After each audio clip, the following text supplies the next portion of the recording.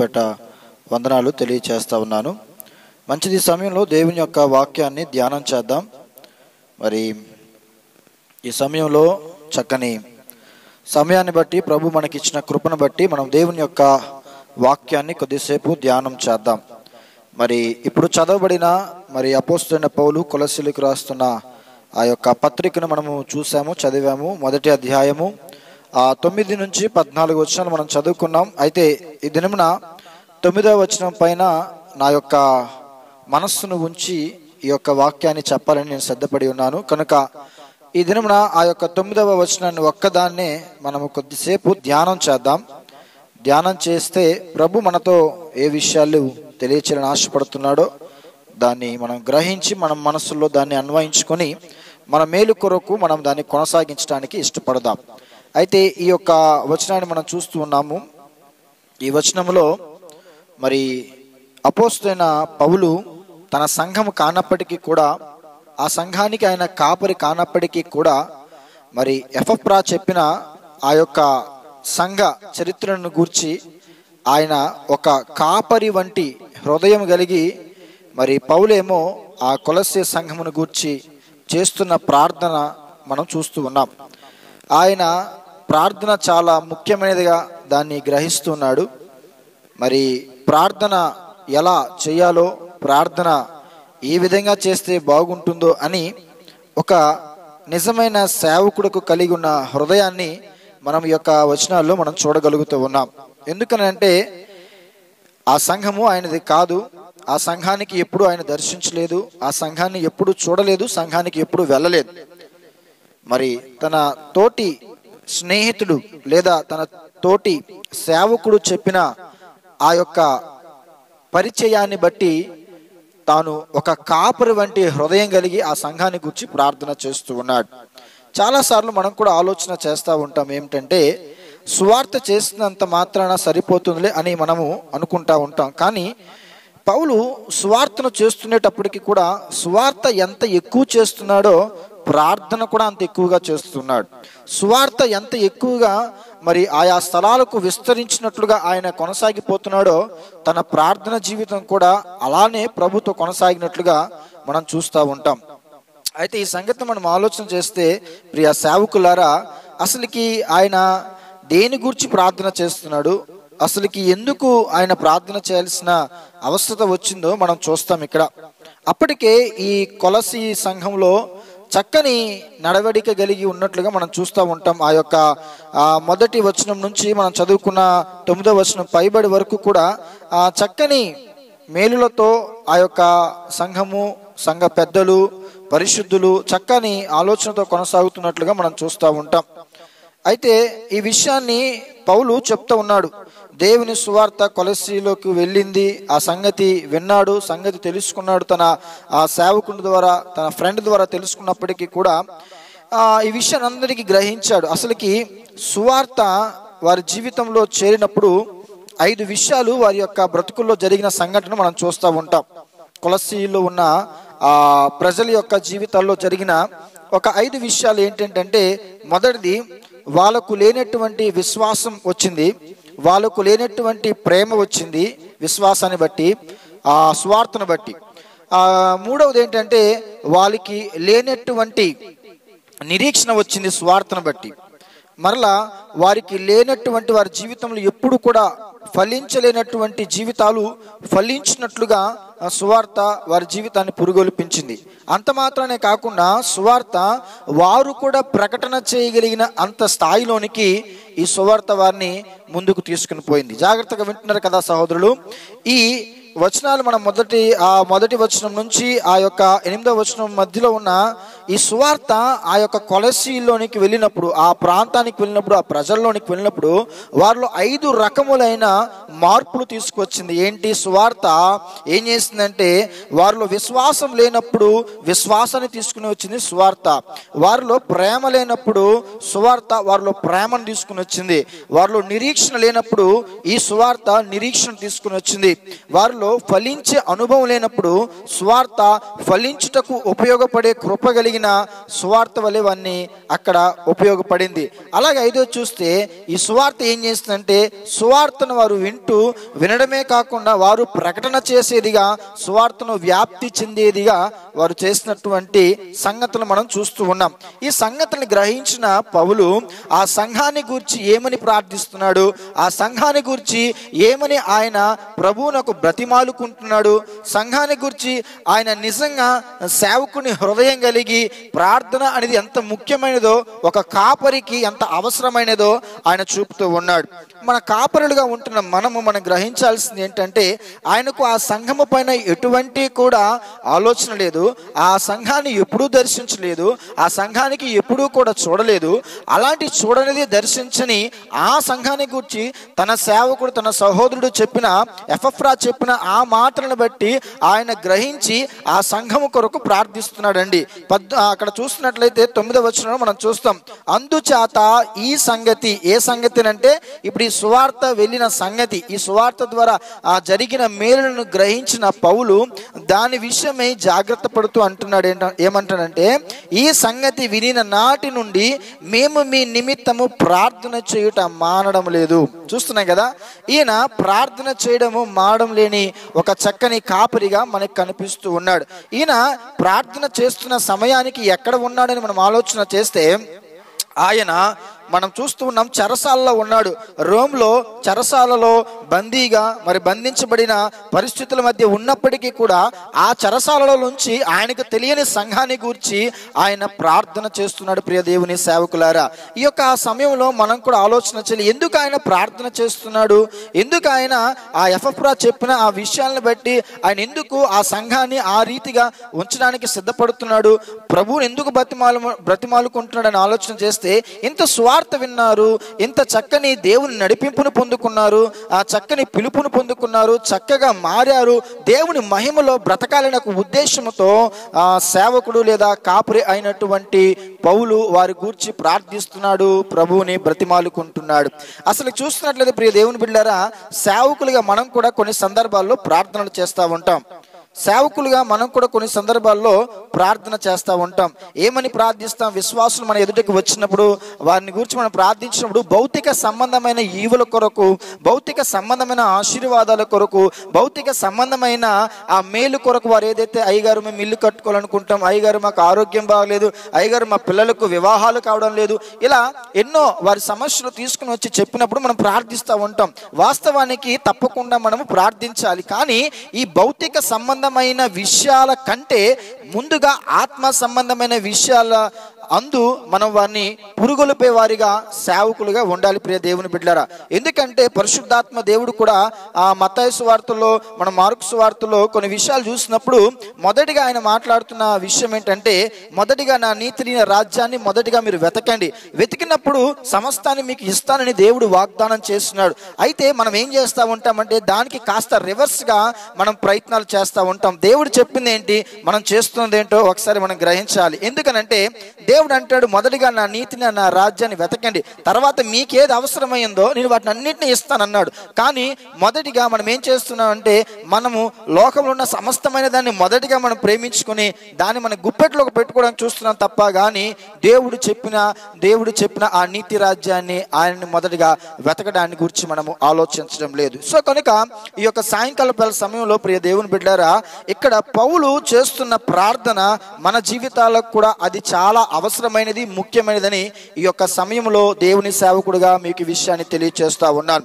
ఎందుకనంటే ప్రియ దేవుని బిడ్డారా ఆయన ఆ విషయాలను బట్టి అక్కడ చూస్తున్నట్లయితే ఆయన ప్రార్థన చేయటము మానడం లేదంట.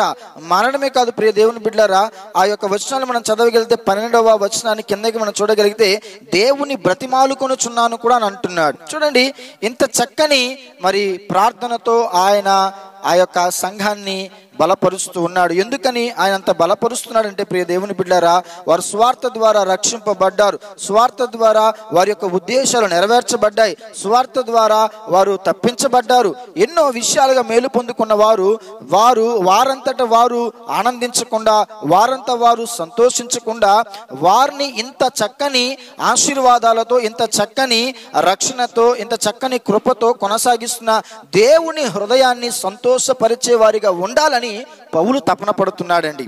ఈరోజు దేవుని సంఘాల్లో సేవకులుగా ఉంటున్న మనము ఒక్కసారి వీటిని గురించి ఆలోచన చేయాలి. మన జీవితాల్లో కూడా ప్రియ దేవుని బిడ్డారా మనము దేవుణ్ణి సంతోషపరిచే సేవకులుగా ఉంటున్నామా? దేవుణ్ణి సంతోషపరిచే పిల్లలుగా మనం ఉంటున్నామా లేదా ఒకసారి గ్రహించాలి. ఒకసారి మనంతట మన జీవితాన్ని మనం ఆలోచన చేయగలిగితే ప్రభు మనకిచ్చిన కుటుంబాన్ని బట్టి లేదా ప్రభు మనకిచ్చిన బిడ్డను బట్టి ఇంకా కాకపోతే ప్రభు యొక్క పిలుపులో మనము ఆ పిలుపునకు తగిన వారిగా ఉంటున్నామా? తన పిలుపును బట్టి ఆలోచన చేయండి.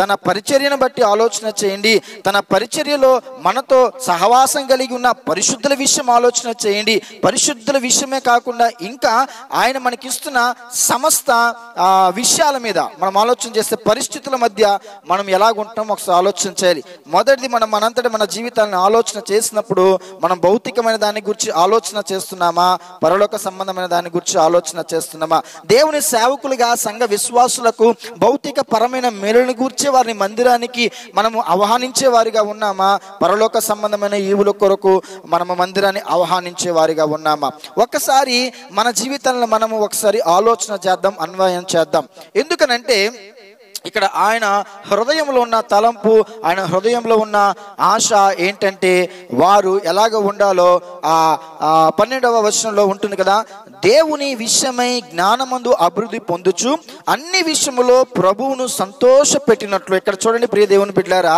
ఆయన ఏమని ప్రార్థిస్తున్నాడని మనం ఆలోచన చేస్తే ఆయన అంటున్నాడు దేవుని విషయమై జ్ఞానమందు అభివృద్ధి పొందుచు అన్ని విషయములో ప్రభువుని సంతోష పెట్టినట్లుగా ఆయనకు తగినట్లుగా నడుచుకునవలనని ఆనందంతో కూడి పూర్ణమైన ఓర్పును దీర్ఘశాంతమును కనపరుచుకున్నట్లుగా ఆయన మహిమను శక్తిని బట్టి ఇలా మనం కొన్ని విషయాలు చూస్తూ ఉంటాం. అక్కడ ఒక పదిహేను విషయాలు ఉంటాయి. ఆఖరిలో సమయాన్ని బట్టి నేను చెప్పడానికి ఇష్టపడతాను. కానీ నా ముఖ్య ఉద్దేశం ఏంటంటే ప్రియ సేవకులారా దేవుని పరిచర్య చేస్తున్న మనము.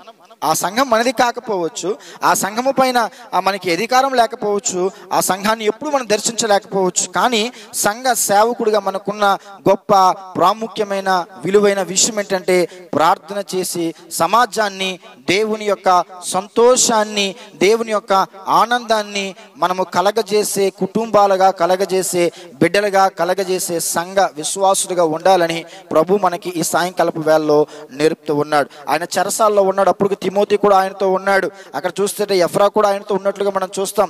ఆ ఎంతమంది దైవ సేవకులు అక్కడ ఉన్నారు. ఉన్నప్పటికీ కూడా వారి యొక్క ఆలోచన ఏమై ఉన్నదనంటే అక్కడున్న కొలసలున్న ప్రజల యొక్క క్షేమంతో పాటు వారు దేవుణ్ణి హృదయాన్ని సంతోషపరిచే వారిగా ఉండాలని వారు దేవుని తట్టు తిరిగేవారిగా దేవుని తట్టు నడిచేవారిగా ఉండాలని ఇక్కడ పౌలు తన యొక్క హృదయంలోని ఆవేదనను మనం చూస్తూ ఉన్నాం. ఇక చూస్తే ప్రియ దేవుని బిడ్డారా ఈ విషయాన్ని మనం చూసినప్పుడు కాపరిగా మన జీవితాల్లో తప్పకుండా ఇటువంటి ఆలోచన కలిగి మనము ఉండాలి.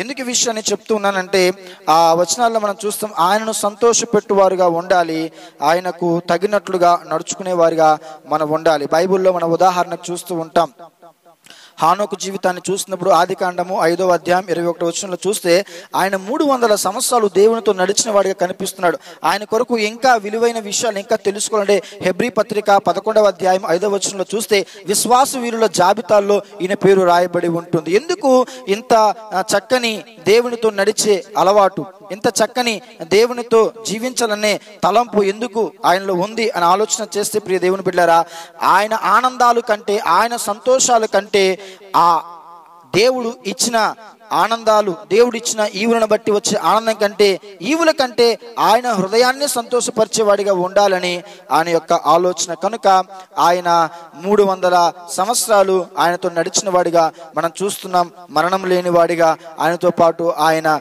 నడిచి వెళ్ళిపోయిన సందర్భాన్ని కూడా మనం చూస్తూ ఉన్నాం. అయితే ఎందుకు ఈ విషయాన్ని తెలియచేస్తున్నానంటే పౌలు కూడా అదే ఆలోచన ఉంది. ఏం ఆలోచన అంటే వీరు కూడా దేవుని యొక్క ఇష్టానుసారంగా దేవుని యొక్క చిత్తానుసారంగా దేవుని హృదయాన్ని ఎరిగి దేవుణ్ణి ఆనందపరిచే వారిగా ఉండాలని పౌలు ఇక్కడ విశ్వసిస్తూ వారి కొరకు ప్రభువుని ప్రార్థన చేస్తున్నట్లుగా బ్రతిమాలుకున్నట్లుగా మనం చూస్తూ ఉన్నాం. ఈ యొక్క సాయంకాలపు వేళలో ప్రియ దేవుని సేవకులారా మనము కూడా మన జీవితాల్లో దేవునిని సంతోషపరిచే సేవకులుగా ఉండాలని దేవుని వాక్యం మనల్ని స్పష్టంగా నేర్పుతూ ఉంది. ఇక చూస్తే ప్రియ దేవుని బిడ్డారా ఆయనను ప్రార్థించే విషయంలో లేదా ఆయనను సంతోషపరిచే విషయంలో ఈ మనము చదువుకున్న ఈ యొక్క అధ్యాయము ఇప్పుడు మనం చదివాం కదండి కొలసి పత్రిక ఈ యొక్క మొదటి అధ్యాయంలోని ఆ తొమ్మిదవ వచనం నుంచి పద్నాలుగవ వచనం వరకు కొలసీల కోసం పౌలు చేసిన ప్రార్థన ఇక్కడ చూస్తూ ఉన్నాం. ఇంకా పరిశుద్ధాత్మ ప్రేరణతో మరొక మూడు స్థలాల్లో కూడా ఇటువంటి ప్రార్థన మనం చూస్తూ ఉంటాం. ఎఫ్ఎసి పత్రిక మొదటి అధ్యాయము పదహారవ వచనం నుంచి పంతొమ్మిదవ వచనం వరకు చూస్తాం. ఎఫ్ఎసి పత్రిక మూడవ అధ్యాయము పద్నాలుగవ వచనం నుంచి పంతొమ్మిదవ వచనం వరకు చూస్తాం. ఫిలిప్ పత్రిక మొదటి అధ్యాయము తొమ్మిదవ వచనం నుంచి పదకొండవ వచనం వరకు పరిశుద్ధాత్మ ప్రేరణతో చెప్పబడిన ఈ నాలుగు అపోస్తుల ప్రార్థనలుగా మనం గుర్తించవచ్చని దేవుని వాక్యం స్పష్టంగా తెలియచేస్తూ ఉంది. అయితే దేవుని హృదయాన్ని ఆనందపరిచే వారిగా ఉండాలి. ఆ దేవునికి తగినట్లు వారిగా మనం నడుచుకోవాలని అపోస్తున్న పౌలు చెప్తున్నాడు. ఎందుకంటే ఆయన పరిశుద్ధుడు మనం కూడా పరిశుద్ధులమై ఉండాలి అనే ఒక ఆలోచనతో ఆయన మనల్ని నేర్పుతూ ఉన్నాడు. అయితే దేవుడు మనల్ని చూసినప్పుడు ఆయన ఎప్పుడు ఆనందిస్తాడంటే ఒకటి దేవుని చిత్తాన్ని గ్రహించినప్పుడు రెండవది ఆధ్యాత్మికమైన జ్ఞానాన్ని పొందినప్పుడు మూడవది ప్రభువుని సంతోషపెట్టాలనే ఆ పరిశుద్ధంగాను జీవించినప్పుడు నాలుగవది క్రీస్తులో ఫలించాలనే ఆలోచన ఉండినప్పుడు ఐదవది పరిశుద్ధాత్మ ద్వారా ఆధ్యాత్మికంగా బలపరచబడినప్పుడు ఆరవది విశ్వాసములో ఆ ధర్మశాస్త్రానికి విధేయత చూపుతూ బ్రతికే విధానంలో అలాగే ఏడవది తండ్రి అయిన దేవుని పట్ల కృతజ్ఞత కలిగి ఉండుట విషయంలో అలాగే ఎనిమిదవది ఏంటంటే పరలోక సంబంధమైన నిరీక్షణలు కొనసాగినప్పుడు ఆయనని ఆనందపరచగలుగుతాం. అలాగే తొమ్మిదవది క్రీస్తునకు సమీపముగా ఉండాలని ఆలోచన ఉండినప్పుడు ఆయన మనం సంతోషపరుస్తాం. క్రీస్తు ప్రేమను ఎరగాలని మనం ముందుకు సాగినప్పుడు ఆయన మనను చూసి సంతోషిస్తాడు. దేవుని సంపూర్ణతతో నిండిన మనసును కలిగి ఉండాలని ప్రభు మనకు కోరుకుంటున్నాడు. అలాగే ఇతరుల పట్ల ప్రేమ దయను ఆయన కనపరచాలనే ఆలోచనతో ఉంటూ ఉన్నాడు. ఇంకా చూస్తే ప్రియ దేవుని బిడ్డారా ఆ దేవునిలో చూసినట్లయితే దుష్టత్వాన్ని వివేచనను విడిచిపెట్టే వారిగా ఉండాలి. పద్నాలుగో విషయానికి వస్తే నమ్మకంగా నిర్దోషులుగాను ఉండాలని ఆశపడుతున్నాడు. ఆ ప్రభు రాకడ కొరకు ఆసక్తితో ఆ ఎదురు చూడాలని మనము ఉండాలి. ఇలాంటి ఆలోచనలతో ఏ కుటుంబం అయితే ఏ సంఘ సేవకుడైతే ఏ విశ్వాస జీవితంలో ఇటువంటి ఆలోచనలు కలిగి ఉంటారో వారి తప్పకుండా ఆయనను సంతోషపరిచే వారిగా ఉంటారని అపోస్తున్న పౌలు ఆయన ప్రార్థిస్తూ ఉన్నాడు ఆయన బతిమాలుకుంటూ ఉన్నాడు ఈ విషయమై. కనుక ఈ యొక్క సాయంకాలపు వేళ విషయంలో మనం కూడా గ్రహించాల్సిన గ్రహించాల్సిన ముఖ్యమైన మాటలు ఏంటంటే మనము భౌతికమైన సంబంధమైన ఈవుల కొరకు కాదు కానీ సంఘ విశ్వాసులను ఆధ్యాత్మికమైన ఈవుల కొరకు వారిని ప్రోత్సహించే సేవకులుగా ఉండాలని ఈ యొక్క సాయంకాలపు వేళలో నేను ఈ మాటలు తెలియచేస్తూ ఈ అవకాశం ఇచ్చిన మరి సహోదరులకు కూడా వందనాలు తెలుపుకుంటూ నా మాటలు ముగిస్తూ ఉన్నాను. ఆమె చిన్న ప్రార్థన చేసి మనం ప్రార్థనలోకి వెళ్ళిపోదాం.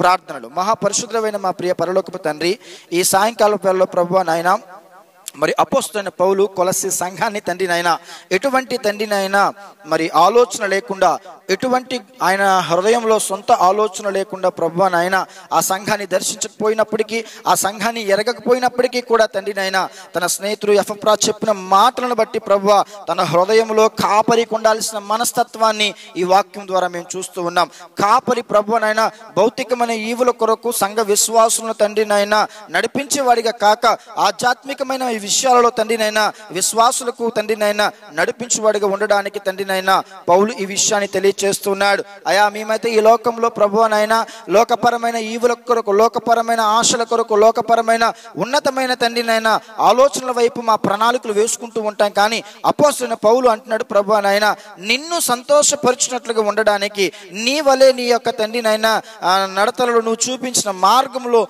నడిచి ఉండేవారిగా మరి ఉండడానికి పౌలు తండ్రి అక్కడ ఉన్న ప్రజలను గురించి ప్రార్థిస్తూ ఉన్నాం.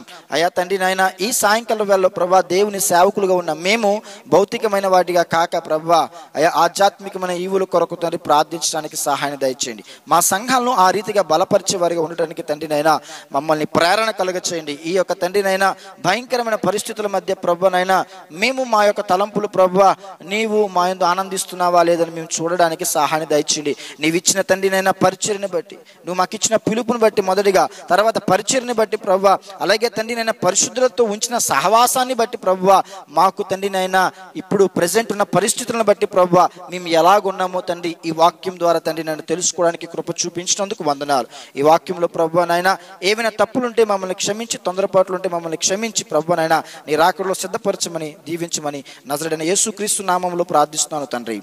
ఆమెన్. ఆమెన్. మంచిది? మంచిదన్నా? మంచిది? Okay.